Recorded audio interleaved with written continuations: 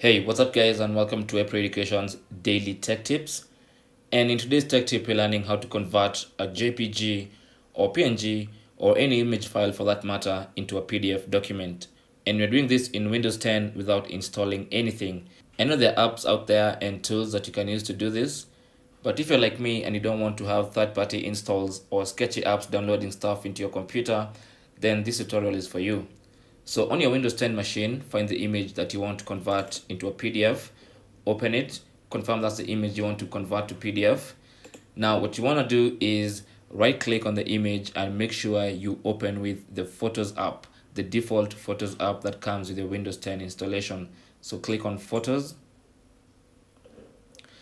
And when that image is open in the Photos app, you have the opportunity to do a little bit of cropping and editing if you wish to. But if you're happy with the image, you can go ahead and click on the print menu.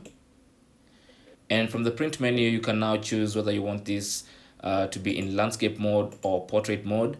You can choose the size of the pages in your PDF document. You can choose how you want the photo to appear. If you need any page margins, you can choose them. If you need to shrink to fit, or maybe you want to fill page, just do what you need to do to make your PDF document exactly the way you want it to look. And when you're done with all that, go to the printer menu. This is where you select the printer you want to use to print normally. But for today, since we're not printing, we're actually printing to PDF, which means we are creating a PDF document from the image. Select Microsoft Print to PDF. When that's selected, you can go ahead and click on print and it's not going to ask you where you want to save your PDF document. So I'll save mine on the desktop and call it and call it that. And then I'll click on save and that image is now converted into a PDF document, which is right here. So when I click on this, I'll use any PDF viewer like a browser or the Adobe Acrobat to open my PDF document. So that's my PDF document that was previously an image. Now, what if you need to convert multiple images into a PDF document? What do you do? Now for this one, instead of right clicking and selecting photos, you need to open the photos app first. And the photos app automatically imports all the images in the pictures folder on your computer. So all the images in your pictures folder will be found right there. Now, if the images you want to convert to a PDF document are not in the pictures folder, you can import from any folder or even from an external USB drive if you have one.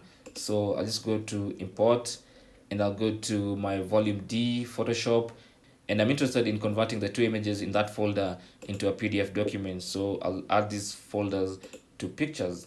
Now I'll look for the images of that folder that I've just added and here they are. So what I need to do now is select the images I need. So I'll select two images for instance. You can select three, four, even 10 images. And what you want to do now is click on print again and then choose your orientation once again choose your size of page choose the photo size all that stuff. But now as you can see i have two pages. That's page one that's page two and you can go three four as many pages as you have images for.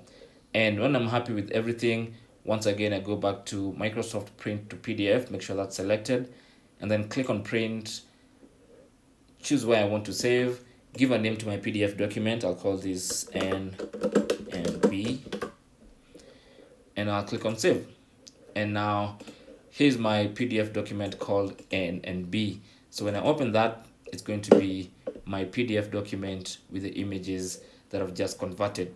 So that's how to convert a JPG or a PNG or any image whatsoever into a PDF document.